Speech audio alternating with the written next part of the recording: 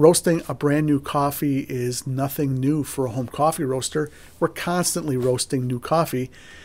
In this case, I'm roasting a coffee origin and process combination that I've never roasted before. I'm going to share that with you here on this video. We're going to be doing this roast together, putting together a plan, executing the plan, and roasting the coffee, and hopefully tasting the coffee as we do this together. So let's do it. Stick around. All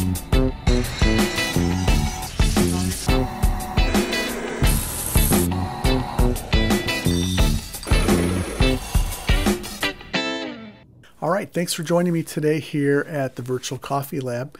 We're going to be roasting a Brazilian natural coffee. It's been a long time since I've roasted a Brazilian coffee. I tend not to gravitate towards them just because I tend to enjoy Central American coffees and African coffees a little more. And so that's just personal preference. That's exactly what home coffee roasting is all about. We find something we like and enjoy that. But uh, yeah, so we're going to be roasting a Fazenda IP Yellow Bourbon. It's a natural process coffee. And in this specific instance, they mentioned that it can be out laying out drying for as long as um, 20 days or so, drying this coffee. So there is definitely going to be a little bit of fruit that is attached um, literally, the mucilage, uh, some of that is attached to the seed during the drying process, and the uh, flavors of the cherry carries over into the roast, into the cup. Uh, and that's one of the things that I like about a natural coffee. I enjoy that. So, a little more about the density of the coffee.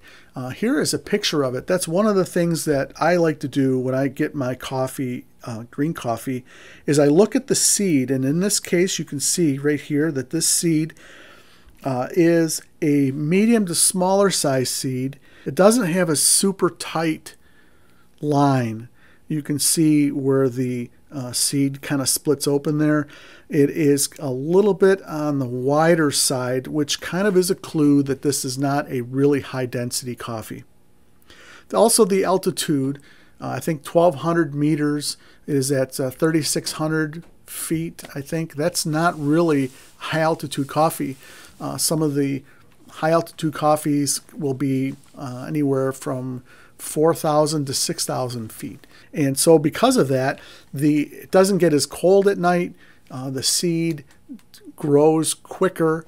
It tends to be less dense. So, what we're going to do is we're going to measure it, and I already did measure it. Uh, and I'm going to share that with you here. And I have a video on how to measure the density of your coffee at home. You can check that out. It's really easy to do, and you weigh that out. And I did, and the weight of that was 179.4 grams. I divided that by 250 because that's the volume of that cup is 250 milliliters, 250 grams, 250 milliliters, and that gives me a number that I multiply by a thousand. That number was uh, 717.2. So this is on the edge, very edge of being between a medium density and a high density coffee. All right, so why is density important? Why does it matter to the home coffee roaster? Well, for me, I care about density because I want to know how much heat I can apply to this bean during the roast. A low density coffee is going to be more prone to roasting defects.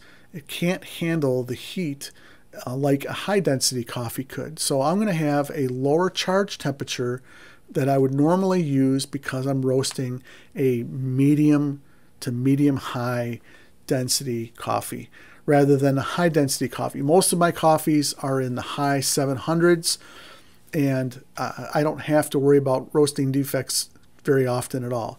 But I want to be careful also because it's a natural that's another reason why I want to be a little more careful with my heat while I'm roasting this coffee.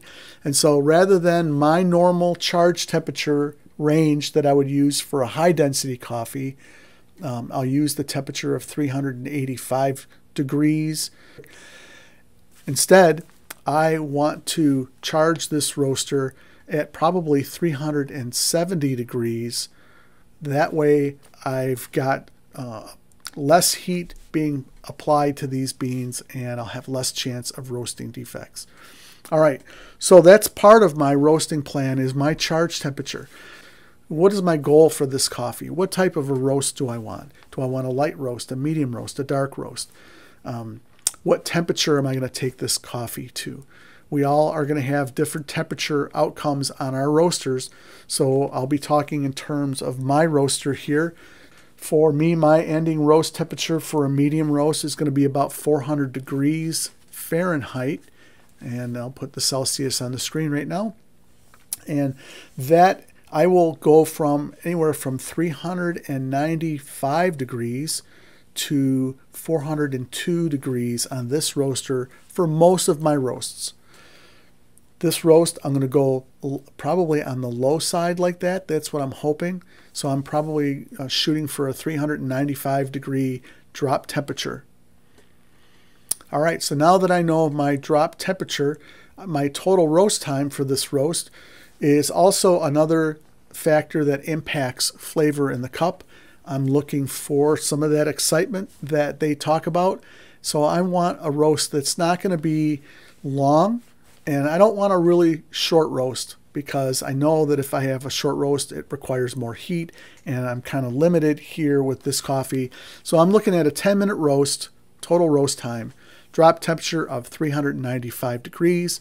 And so breaking that down in a 10 minute roast, I would love to hit dry by five minutes. I, I would really enjoy that. And I would be happy with um, a three minute to a 315 browning phase or Maillard phase, and then a, a shorter percentage, a shorter time in my development.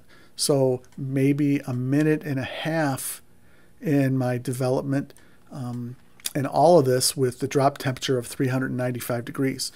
So that might be a little tricky. We'll see if we can do this. What I'm looking for is a beautifully, um, a beautifully roasted coffee that has a little bit of a hue to it, a little bit of that uh, red hue in the color, and I don't want it to go dark. I, I want this coffee to have enough development to, for all of the flavors that I want, but I don't want the roastiness in this coffee. So, so that is my goal. That's kind of what I'm thinking, and we're going to try to execute that. So let me get the roaster warmed up, and then we'll talk about the next step. All right, my roaster has been warming up now for over a half hour. I am getting ready to charge my coffee at about 370 degrees. I've got one pound of coffee, which is, what is that, 456 grams, something like that. All right, here we go. I'm gonna go ahead and get this started.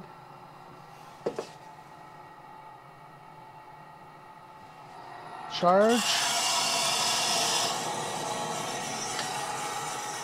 Okay. All right, charge the roaster at 371 degrees. I'm gonna turn off the gas and let this exhaust temperature drop. We'll watch the bean temperature drop here on uh, as we head towards turning point. All of this is going to give me an idea of how fast I'm roasting this coffee. I know that I don't have too much heat applied because um, I know my charge temperature is 15 degrees lower than it normally is, 15 degrees Fahrenheit. All right, I'm getting ready to turn my heat back on. I'm watching my exhaust temperature right there and uh, 375 degrees is around where I want to turn my exhaust temperature, I'm sorry, turn my gas on so that my exhaust temperature will turn around and start heading up towards around 400 degrees. My exhaust temperature is my gas pedal. Uh, sure, my gas gauge is my gas pedal as well, but my exhaust temperature is something that I really pay attention to. All right, we are at about 65, 70% uh, energy right now on my gas gauge here. And we're gonna go up to full power right now. All right, so we're at turning point. Turning point's gonna show on the screen. Should be about a minute and a half or a minute and 28 seconds. a minute and a half at 268 degrees. I'm right on target. The way that uh, I know my temperatures, I'm very familiar with the roaster. So I look like I'm headed towards uh, about a five minute dry. I could be a little bit late on that, uh, or I could be a little bit early. It all depends on the coffee here. All right, my rate of rise is skyrocketing. I don't know if you can see the beans real good. I think you might be able to on the um, other camera. Yeah, so right now, Artisan's predicting a 5 minute and 20 second dry, and I'm at 17 on my rate of rise. So I'm going to be close to 5 minutes, or maybe 4.55 even, uh, based on the bean, the rate of rise, uh, which now is at 20. So yeah, there we go. So I'm right in the zone of where I want to be on my dry end, which is exactly what I was hoping for. That's all good news. Let's take a look at the beans. You can see just now that they're just starting to pale. They start to go from that dark green to a little bit of a lighter colored green and that's what we want. We want to see this transition from this darker green to uh, a full yellow. Uh, and that's what we call dry end. All right, so we are right where I want to be. And we, let's talk about the exhaust temperature for a second. Right now it shows 392 degrees here on Artisan. And my goal of 395 degree drop temperature, I would like to have my exhaust temperature be about 400 degrees to 405 degrees in that range uh, when I'm close to dry end. So I'm going to be watching that. And why? Why am I doing that? I'm doing that so that I have enough energy to move me through the roast without being out of control. And I'm using that, like I said, as my gas pedal um, so to speak. And I want that to level off and then I'm going to start to slowly back down the heat as we um, work our way towards first crack. But let's get to dry first. All right, we are definitely starting to yellow. There's a little bit of green left in there. Still some green. I it's hard sometimes to tell. And so for me, I don't want to see any green. I'm still seeing a little tinge of green. There's some green. And we are just about there. I'm going to call it dry right now. All right, and we're at 407 degrees on our exhaust temperature, so I am going to definitely back off my gas. I'm down to a half a kPa right now. My exhaust temperature is going to start flattening out and I'm going to start increasing my air from a minimal draw to a medium draw on my roaster. And I'm not concerned about the squiggly lines on my rate of rise right now. I'm just trying to get a stable descent and I'm going to use my exhaust temperature to kind of help me visually see that. And I'm going to let the descent take care of itself. I don't have 100% confidence in all of my rate of rise readings as far as you can see how the line's going up and down and up and down. And I need to get this energy down just a hair. So you'll see these little roller coasters going on and I'm looking for a general direction. I'm looking for a general direction for this roast. A couple more adjustments. So naturals have a little bit of uneasiness. I'm definitely moving a little quicker than I want on the roast.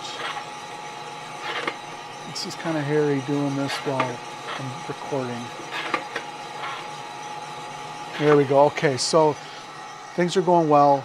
Did you see the color? Look at the color on this. Kind of a cinnamon. It's kind of hard to tell. But um, yeah, I'm excited. I don't know if you're seeing that in the camera. I'm excited about this coffee. All right, my exhaust temperature has leveled off. 405 degrees is nice. Um, I'm looking now at my first crack. I want to back my heat down just a tiny bit more. Definitely more. I've got a little flick going and I'll have a little bit of a crash going and then it'll kind of come back and go back into its descent. All right. Just making really, really small adjustments. Just now, so you can see my exhaust temperature is starting to angle down. Look where the bean temperature and the exhaust temperature are pointing at each other. That's right about the 10 minute mark where they're going to converge. So I like that. I like that. First crack is going to be coming up here at about 5 degrees and I want to get my exhaust temperature down. I'm going to bump up my air to about a medium high. That's going to start to help move this around.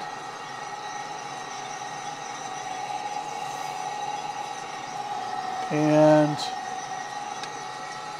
crack.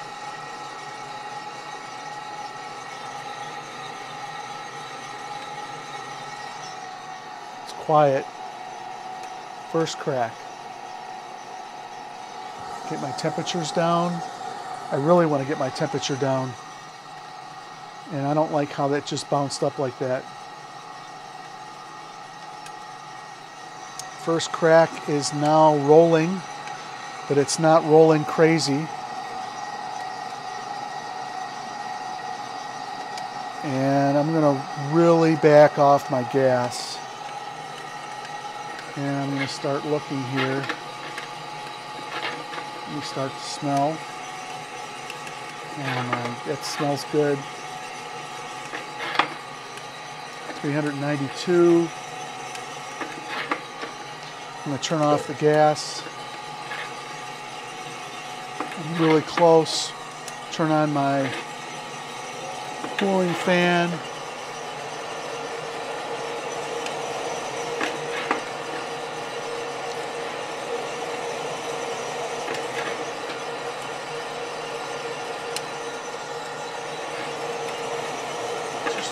On there.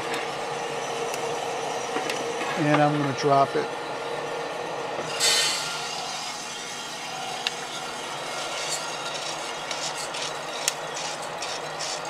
You can hear a few snaps as it comes out. There were a few beans that were still cracking when I dropped it.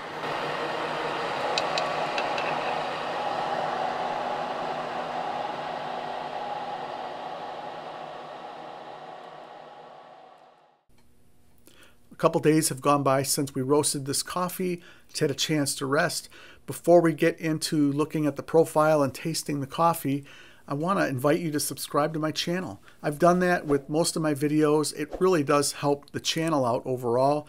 Also hitting that like button, that would be awesome if you would do that. Enough people watch these videos, we can definitely get well over 100 likes on this video.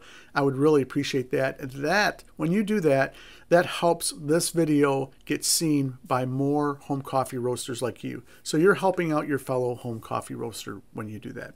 I was able to hit my charge temperature uh, almost exactly where I wanted it. I wanted 370 degrees and it was 371.2 degrees. I'm fine with that. One degree is not going to make a difference really. The uh, dry time, five minutes. Uh, we were at 448. I was about 10 seconds early, but that's fine. Uh, you know, the dry phase and why the dry phase is so important. I think one of the biggest reasons is, is it sets me up for success for the rest of the roast.